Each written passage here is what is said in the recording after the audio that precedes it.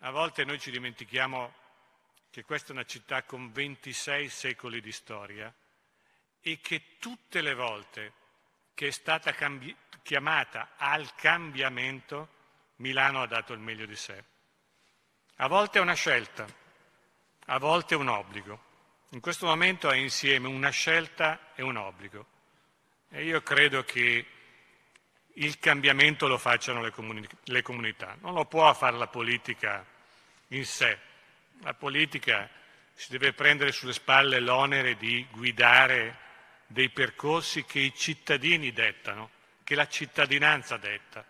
Questo è quello che io credo si debba fare in questo momento nella nostra città.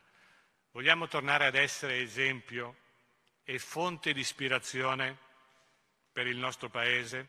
Per l'Europa e per il mondo. Grazie a tutti voi.